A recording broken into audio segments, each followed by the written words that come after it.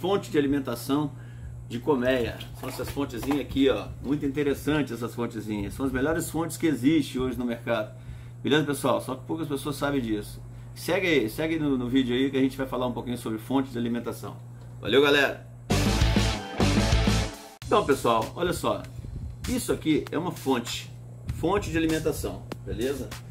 Diferente de uma fonte comum, isso aqui é uma fonte comum. Aqui você liga na, na energia a energia vem pela fonte e aqui você liga no aparelho. Isso aqui é uma fonte de 12, 3 amperes, 12 volts, 3 amperes. A diferença que tem da fonte de colmeia é porque a fonte de colmeia ela vem com esses parafusinhos aqui, ó, que você vai ligar fase, neutro, terra. Você vai fazer a ligação aqui. Então, geralmente você prefere comprar aquela fonte lá fechada, beleza, pessoal? É, mas eu vou falar uma coisa para vocês. Essa fonte aqui, colmeia, ela dura muito mais do que aquela outra fonte lá.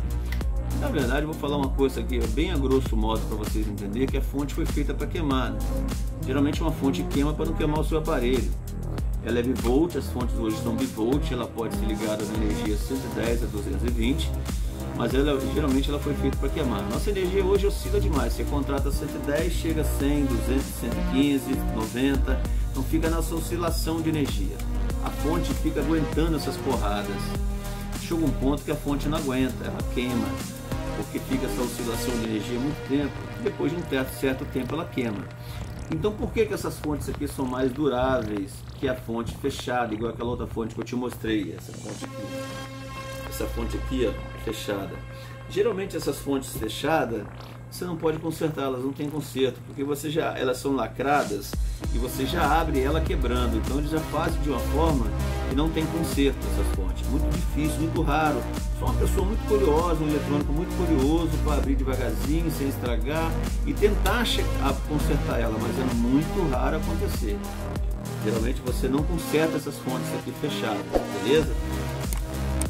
As fontes colmeia, você pode abrir as fontes colmeia, porque elas, elas têm uns parafusinhos aqui, ó, igual esse aqui, ó. E você abre ela, você abre, são parafusinhos, e o, o, cara da eletrônica pode consertar, porque ele tem aqui dentro, ele tem aqui dentro relés, transistores, capacitores, ele pode fazer um, pegar um, um, uma chave de teste, que é, que é essa chave aqui, ó. Uma, é uma peça dessa, chama-se multímetro. Aí ele vai testar essas pecinhas aqui dentro aqui, vai ver qual está queimada e vai trocar. Muito simples, beleza? Se a plaquinha aqui dentro tiver com problema, ele pode refazer também o caminho, ele pode trocar a plaquinha só. Então a fonte hoje colmeia é uma fonte recomendável para qualquer tipo de produto que você quiser. Geralmente as pessoas usam muito essa fonte de colmeia para ligar alarme, para ligar cerca elétrica, para ligar câmeras de monitoramento, vídeo monitoramento.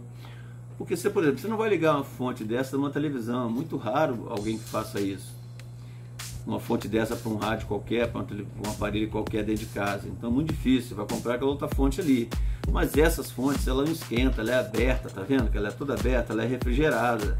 Então entra, entra o ar que entra aqui não deixa, a, a, a, faz a peça não esquentar tanto e ela torna-se muito mais durável, 3, 4, 5 vezes mais durável do que a fonte blindada. Entendeu? Outro detalhe importante que você, for, que você tem que prestar atenção, quando um aparelho seu que tem fonte queimar, você tem que ver a voltagem e a amperagem do aparelho. Volto a dizer isso. Se você pegar uma fonte de 12 volts, ligar num aparelho de 5 volts, vai queimar o aparelho. Tem muita gente fazendo isso em casa hoje, queimando o aparelho. Chegou uma senhora essa semana aqui na loja com o TV Box queimado, porque o TV Box tem uma fonte de 5 volts, 2 amperes. E aí ela pegou uma fonte lá de 9 volts, 3 amperes e ligou no TV Box. Queimou o TV Box. Depois de dois minutos ele funcionando, ele queimou. Ele começou a esquentar e derreteu tudo dentro dele. Por quê? Porque a fonte de energia, 9 volts, é muito mais forte de 5 volts. Estava jogando muita energia no TV Box. Ele aguentou, derreteu e queimou. Então você não pode sair testando qualquer fonte da sua casa num aparelho que queimou uma fonte. Você tem que pegar essa fonte que queimou, ir numa loja e saber qual fonte você vai comprar. Essas são as dicas de fonte de alimentação. Beleza? Existe fonte hoje de. Ó, esse aqui, por exemplo, é 12 volts, 5 amperes. Aqui, ó. Olha só os tamanhos de fontes para vocês terem ideia do que eu estou falando. Ó. Olha essa fonte. Essa fonte tem 12 volts, 20 amperes. Também é uma fonte muito melhor, refrigerada, mas elas são ligadas por os fios aqui. É você que tem que fazer a ligação, o eletricista tem que fazer a ligação. Não tenta fazer ligação por curiosidade, tá? São fontes que você tem que saber o que está fazendo.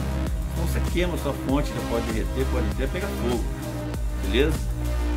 Então olha só galera, essa é a dica de hoje. Fonte de alimentação. Se você puder dar preferência às fontes de colmeia, é o que eu indico para vocês. Beleza? Se vocês não puderem, compra fonte comum então. Às vezes compra uma marca legal, porque fonte é uma coisa que queima fácil, porque ela aguenta muita porrada de energia. E se o aparelho for um aparelho é, comum, tipo uma televisão, TV box, receptores digitais e outros, liga num filtro de linha. Porque por causa dessas oscilações de energia, em vez de queimar a sua fonte, que é um fusível do filtro de linha, que é dois reais. Não é uma fonte de 40, 80, 70. tem fonte dessa aqui hoje que custa 140 reais, dependendo da fonte, entendeu? Uma fonte de TV box de, de, de, de notebook, por exemplo, custa 100 reais no mínimo, aí uma fonte universal. Beleza, pessoal? E vê também a sua fonte quando você for comprar, se você não acha uma fonte com a sua voltagem amperagem universal, que é uma fonte que você pode usar para vários aparelhos, para não um só. Quando você for usar o aparelho, você só muda no botãozinho aí na chavinha ali, se é para 12 volts, 14 volts, 16 volts, claro. Tem que tomar muito cuidado para não esquecer numa voltagem maior. Você pega um papelzinho, escreve assim, ó, 12 volts, no, no, 5 volts no TV Box no notebook você bota 19 volts, que é a voltagem do notebook, por aí vai. Aí quando você for usar a fonte no notebook, você bota para 19 volts. Quando você for usar no TV Box, você bota para 5 volts. Então você não pode esquecer disso, senão você queima seu aparelho. Então essa é a dica de hoje sobre fonte de alimentação. Prefere as fontes de colmeia, que elas são refrigeradas e duram muito mais do que as outras fontes comuns. Quando queima, por ela se tratar de estar vedada, né, ela, ela blindada praticamente, ela queima, você joga ela fora. Já a Gicomé não, é uma fonte que são, pode, pode ser recuperadas, né? Pode ser trocada aqui as pecinhas dela e você recuperar a sua fonte e usar ela para mais um ano, dois anos. As fontes dessa aqui dura cinco anos, no mínimo. Às vezes nem queima nunca. Beleza, pessoal? Essa é a dica de hoje sobre fonte de alimentação colmeia e fonte de alimentação comum, durabilidade, tempo, modo de usar, voltagem, amperagem, alguma coisa que eu falei aqui hoje sobre fonte de alimentação. Curiosidades. Quem gostou do vídeo, compartilha. Quem gostou do vídeo, deixa seu like, compartilhe com uma pessoa que tem curiosidade. Meus vídeos são simples e objetivos. E quem gostar da gente, se inscreve no canal para continuar recebendo nossos, nossos vídeos aí, nosso conteúdo aí que a gente faz com muito carinho toda semana para vocês. Forte abraço. Lembre de uma coisa, eu estou crescendo, a gente está crescendo aqui porque a gente é uma família, então a família não depende do outro. Beleza? Eu agradeço vocês aí por estar fazendo a gente crescer, por estar ajudando a gente a crescer. Eu agradeço a Deus pela vida de cada um e falo mesmo de coração. Eu sempre lembro de cada um de vocês, meus seguidores, minhas orações. Peço a Deus para abençoar a vida de cada um. Forte abraço, fica com Deus, beijo no coração. Tchau, tchau, pessoal. Valeu!